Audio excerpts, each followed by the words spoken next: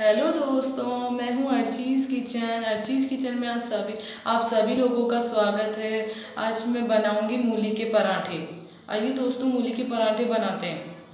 दोस्तों, हमने एक मूली ली थी। हमने मूली को कद्दूकस किया है। कद्दूकस करने के बाद हमने उसका पानी निकाल लिया है। देखो दोस्तों, उसका पानी निकालने के बाद हम इसमें मिलाएँगे। हमने धनिया लिया था। धनिया को हमने काट लिया है। अब अब इसमें धनिया मिला देंगे।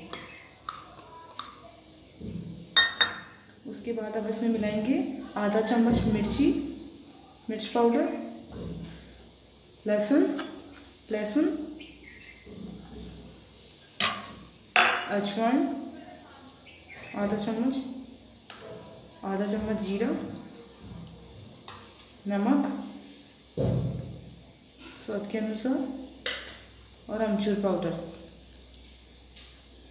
हम इसे मिक्स कर लेंगे दोस्तों।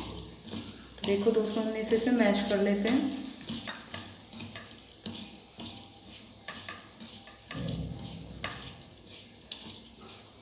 दोस्तों, हमने इसे मैश कर लिया है।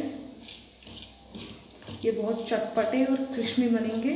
देखिए दोस्तों। दोस्तों, हमने आटा लगा लिया है। अब अपन इसका एक लो लोहा बनाएँगे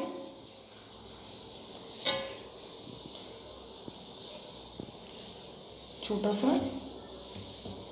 लोहा बनाएँगे अपन इसको इसको बनाने के बाद अपन इसको अपन इसको कटोरी की स्टाइल में कर देंगे। कटोरी की स्टाइल में करने के बाद जो अपने होली का वो बनाया था मसाला इसमें रख देंगे दोस्तों।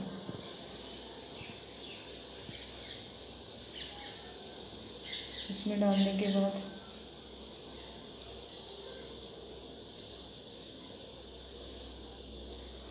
लोहे बना लेंगे बनाने के बाद अपन इसको बेल लेंगे दोस्तों।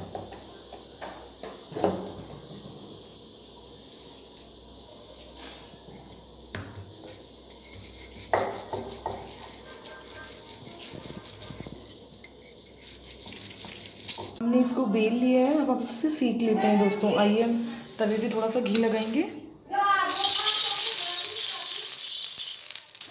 घी लगाने के बाद अपन इसको सेक लेते हैं। दोस्तों, ये अपना पराठा सीख गया है। अपन इसको पलट लेते हैं। अपन इस पर घी लगा लेते हैं।